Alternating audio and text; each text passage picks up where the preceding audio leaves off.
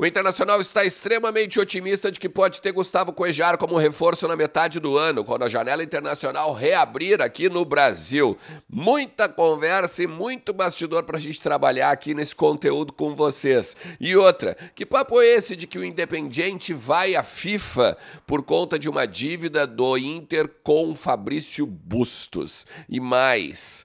Os relatórios desde o Catar animam a direção de futebol do Inter e Gabriel pode estar muito próximo de começar uma pré-temporada para ficar à disposição do Mano Menezes. Vamos falar sobre tudo isso? Então fica comigo depois da vinheta.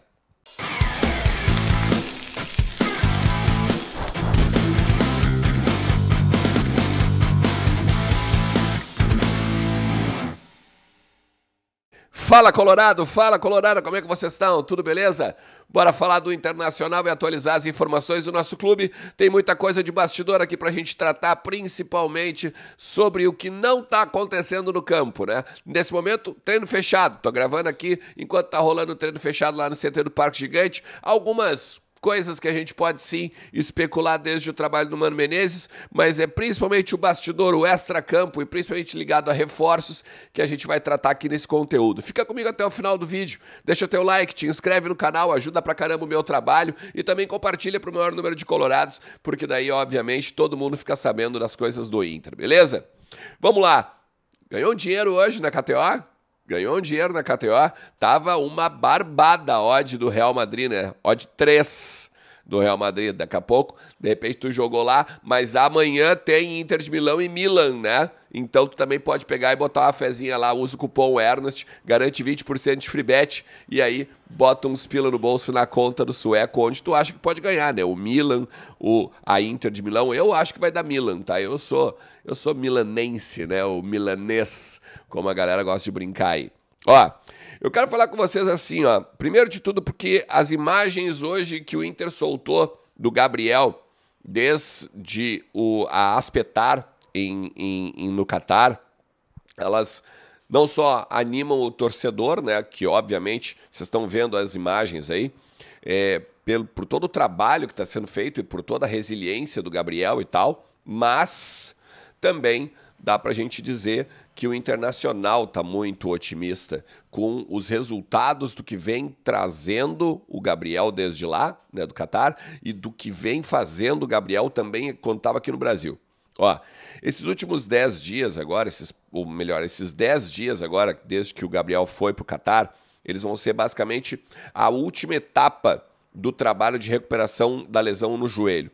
Se tudo der certo, quando o Gabriel voltar para cá, ele vai ter não só a sua excelência em termos de recuperação, mas daí um início de um processo para uma pré-temporada e aí fazer a questão física estar apta para então o Mano Menezes poder relacionar ele, poder ter ele nos treinamentos e ele começar a trabalhar com bola junto aos demais companheiros. Vou voltar a dizer para vocês, o, a direção de futebol do Inter ela está extremamente otimista que o Gabriel tem dado um retorno muito bom. E aí aqui, até pelo histórico dele, né? Lá no Palmeiras, quando ele jogava no Palmeiras, ele também teve uma lesão semelhante no joelho e voltou antes do previsto. Né? A previsão era agora, final de maio, ele tá já ro rolando bola, né? E podendo trabalhar com os demais companheiros. Talvez não jogue agora ainda, talvez jogue mais ali hum, junho e tal, mas entrando num processo, né, já de retreinamento, de recondicionamento físico e tudo mais. Então, é uma importantíssima notícia para o torcedor colorado, principalmente porque a gente está precisando de um camisa 5, precisando de um cara que seja ali o, o, o, da abertura do meio-campo, né? O Campanhar foi muito bem elogiado até pelo Mano Menezes, mas a gente sabe que o, o Rufi Rufi deu outra cara para o Internacional em 2022 ali naquela área ali. Inclusive, sobre camisa 5, tem a questão do Cuejar, tá? William Thomas ele falou essa semana, agora nesse final de semana, na verdade, lá em São Paulo, de que ele não ia entrar em especulações, não ia, não ia falar de nomes do mercado, mas ele elogiou demais o Coejar. E ele disse o seguinte: ainda não existe nada. Né? Então a gente não vai fazer especulações de mercado, a gente não gosta de fazer esse tipo de coisa. Mas é um atleta renomado e que se a gente enxergar possibilidades de fazer algum movimento para tê-lo no Beira-Rio, o Inter vai fazer, tá? O que, que ele quer dizer com isso? E ele falou o protocolo no microfone, né? Fora é o seguinte, o Inter conversa com o Cuejar... é o seguinte, o Inter conversa com o Cuejar, o Inter já fala com o Cuejar, inclusive, ao, direto com ele, um, um integrante da comissão da, da, da, da, direção de futebol do Inter, fala direto com o Cuejar em termos de conversa sobre futebol, conversa sobre até mesmo dia a dia, assim, meio que para né, criar aquele vínculo. O Internacional já tem o ok do staff do jogador em termos de valores, em termos de contrato, em termos de uh, bônus por né, vezes que ele entrar em campo e que, que ele for relacionado e tudo mais. Mas aí tem agora a questão que o Inter está trabalhando lá com o Al Hilal e os shakes do Al Hilal. Existe a possibilidade do Inter pagar? Sim, existe. Não os 5 milhões, né? Como foi falado, tá? Lá na janela de verão agora, mas se o Inter pagar alguma coisa, vai ser uma quantia muito mais diminuta em relação aos 5 milhões de dólares falados, tá? Então, o que que acontece?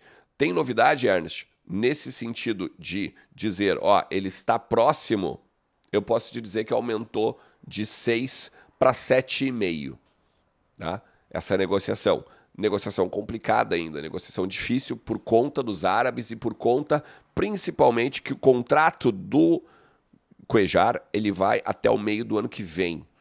Então, com esse ano de contrato ainda pode ter essa questão mais incipiente assim para chegar e dizer, ó, pum, 9, 9,5 nessa nota que eu acabei de dar aí, beleza? Eu quero falar com vocês também sobre essa questão do Bustos e da FIFA e do Independente uh, lá da Argentina, tá?